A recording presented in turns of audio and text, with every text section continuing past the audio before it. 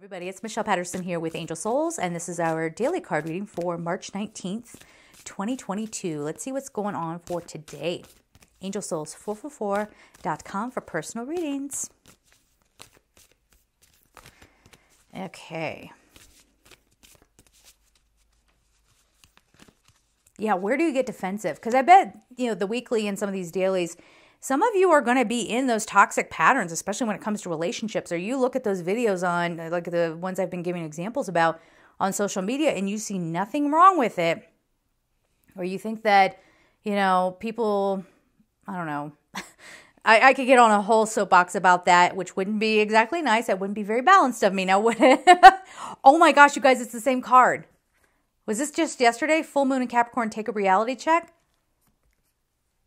Again, we're looking at the world around us and seeing how what we accept and what maybe isn't acceptable anymore. Now, this doesn't have to be a fight.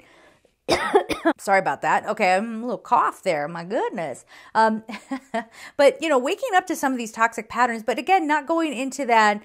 Um, I know it's it's hard, guys. Noticing it, but not getting super critical of it but speaking up about it, but not being diminishing. I I haven't mastered it at all. So that's going to be my reality check. Like where is the balance there about going, "Hey, are, are we sure we want to function like this?" Are we sure we want to be so under the control of somebody that we need to be fearful and concerned if they don't like the shirt we're wearing? What? I, I can't really, I, I don't know what to tell you. but we're doing a reality check. Now, this could also be out in the world as well there could be a very sobering moment where it's like, okay, things are getting serious and that that's going to happen. I'm going to tell you right now that's going to happen.